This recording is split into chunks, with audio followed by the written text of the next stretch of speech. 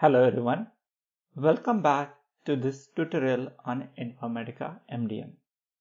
In today's session we are going to see a very interesting concept which is related to the Entity 360 application and how the cleans functions works with Entity 360 application that is what we are going to see. So you might be wondering that like okay we know the cleans function we know we configure in the MDM hub and we also use the provisioning tool to configure that and use in the Entity 360 application. What is the big thing about it, right? So there are several concepts we might you might have worked on some of the part of your clean function and used in Entity 360 application, but there are certain concepts which you may not aware and I thought let me bring those concepts in front of you in the form of demo. I was recently working with my team member and they are not able to identify the functionality and at what time these clean functions are getting invoked while using the Entity 360 application. So at the end of this session, you will be able to understand whether it's possible to configure more than one cleans function for the given transformation. We know that there are three types of transformation which we can configure for Entity 360 application and those are nothing but view to business entity, business entity to view, and business entity to the business entity. So the question is whether we can use more than one cleans function for any given transformation. The next question could be, is it possible to configure more than one cleans function, but it will output will be pointing to the same field. For example, if you're using first name and last name as a source field and target name you're populating as a full name, whether this full name can be used in multiple cleans function. The next question is, if we configure more than one cleans function for a same field, then which cleans function will execute? Whether the first one, the second one, or all of these. And the final question is, is it possible to configure different cleans functions for business entity review and business view to business entity transformation? And if you do that, which value will be saved in the database? So these are the few questions which we are going to address. Some of the questions you might already come across or you might have already worked on those kind of concepts. But if you are not work on all this scenario, I would strongly recommend to stick with this video and you will be able to answer all these questions. So let's deep dive into all these concepts. First of all, we are going to see the configuration on the MDM hub. Then we are going to see the configuration on the provisioning tool. And then we are going to perform a demo using Entity 360 application. Let's go ahead and see the configuration in the MDM hub. In order to demonstrate the cleans functionality in Entity 360, I have configured two cleans functions. The very first cleans function is called, it's a graph cleans function, full name with a comma. Here we are using first name, last name and we are concatenating by adding the comma between these two fields and we are populating the full name. As we see here, the full name is the only one output field. You can have other output field as well then we have the second cleans function. And in this second cleans function we are using again the first name last name. But before concatenating we are making them uppercase. And instead of using comma between these two fields we are going to add extra space. And that after that we are going to populate full name. So cleans functions are pretty simple. One cleans function just concatenate and add the comma. And the second cleans function make it uppercase and add the space between and then populate the full name. Now let's go ahead and see the configuration on the provisioning tool side. We have configured two transformations in order to demonstrate cleans function in Entity 360. The very first transformation is business entity to the view. It is named as customer to customer view. The second transformation we have configured is nothing but view to business entity and its name is customer view to the customer. Now in this customer to customer view we have configured direct transformation where we are mapping the customer type with a customer type, customer name as a customer name. Here the customer name is nothing but the full name in our case. Then we have the first name and last name. Now the customer name to customer name is full name as, we, as I said and this same field we also used in this the second transformation which is a cleanse transformation and this cleanse transformation is going to uppercase the first name and last name and concatenate both the values and assign to the full name. Now here we can see the uppercase is configured. Here we are taking the input as first name and last name and the full name is populated that is nothing but the customer name. Now here if you notice this customer name is a common field between these two transformation. Now when we execute or when we update or create the record this transformation will be going to show you the data on the screen. So in this case what is happening suppose you create a record either through your MDM hub or batch job or through Entity 360 application, data will be saved in the database. But while displaying the data on UI, either one of these cleanse function is going to call. The first cleanse function is direct. That means whether it will just get the like customer type or customer name data from the database and it's going to display without doing any transformation. If it is small case present in the database, it will show the small case on the screen. And in the other cleanse function, even it is small case in the database, it will show as a uppercase if this cleanse function is getting executed.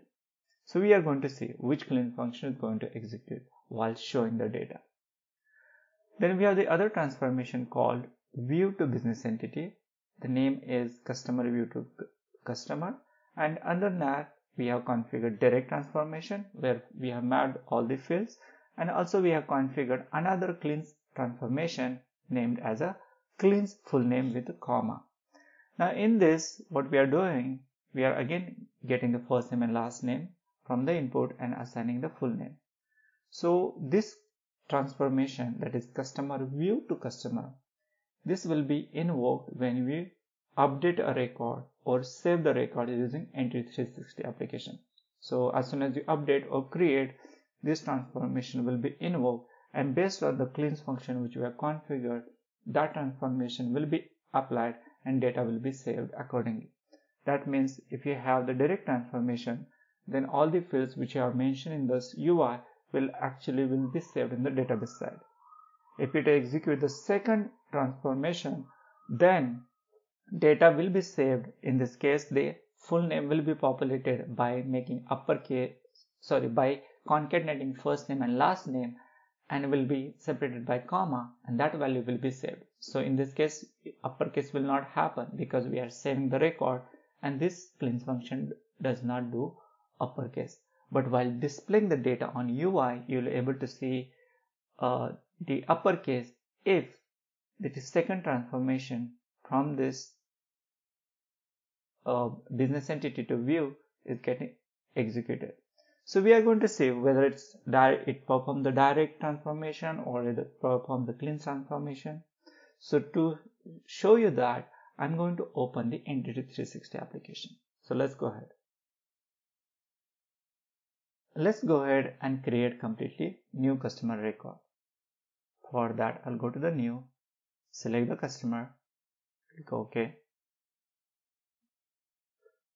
Here I will just provide some sample value. I'm going to use lowercase sample f name. I'm not going to provide the last name or the uh, customer name. The last name we provide is sample L name. Customer type is optional, but I've just selected. Now I'm not providing customer name because I know the clean function is there which is going to populate. So I'm not going to provide. I'm just to click the save button. As we remember, after save operation, customer view to the customer business entity, that transformation will be invoked.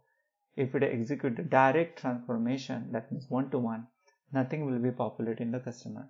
If we use the uh, comma separated values, cleanse function will be executed and that data will be saved in database. So I'm going to save, click on the save we have configured the task so just showing this pop-up I'll click save. Let's go ahead and search that record.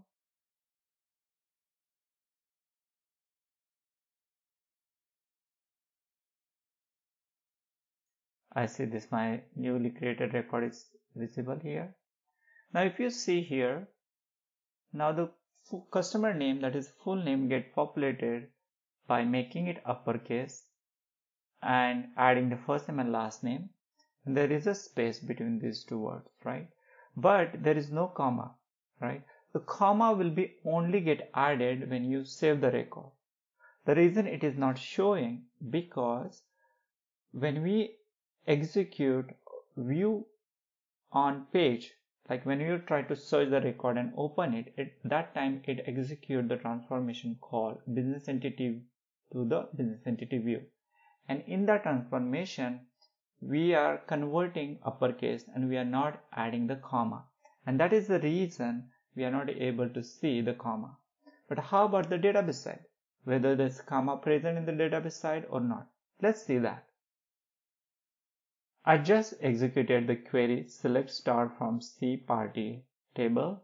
And as I can see the very first record is most recent record and here if you see the party name is populated sample first name f name comma sample last name.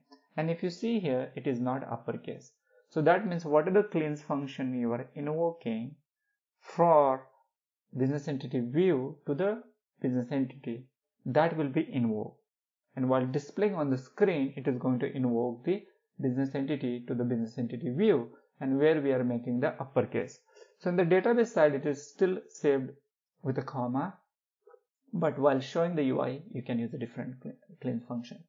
So now here is the summary, right? So you can address all these questions which we were talking about. So let's go back to the slide and understand what are the questions and what are the answers to those. So these are the questions we were discussing earlier. The very first question is, is it possible to configure more than one cleanse function in tra any transformation? And the answer is yes. We just saw like we configure direct as well as the cleans function transformation and we can use either in BE to view or view to BE. Then the next question is, is it possible to configure more than one function, one cleans function for same field?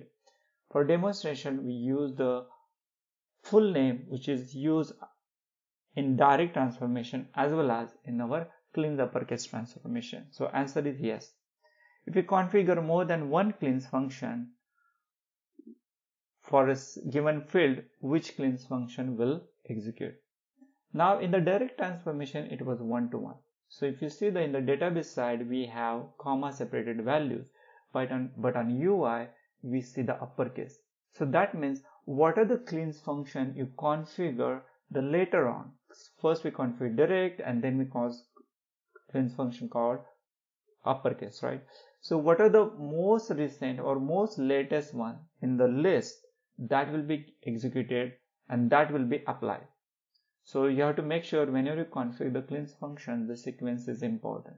So if you don't want to execute particular cleanse function in given sequence, you have to skip or you don't have to configure those fields in that uh, function. Then the next question is, is it possible to configure different cleans function for BE to view and the different one in the view to BE? So as per demo, which I showed you, in our view to BE, we added the comma in our full name and in displaying purpose, we made it uppercase and remove the comma. So in short, yes, we can do that. The database value will be different than what actually shown on the screen the database value saved, it is based on the transformation called view to BE. So these are the questions about the cleans functions. I hope you understand these concepts in detail. If you have any questions or queries, you can definitely mention in this comment section of this video. One more thing, in our upcoming lecture, we are going to focus on external call. So do not forget to subscribe my channel and hit that like button. Thank you again. Have a wonderful time.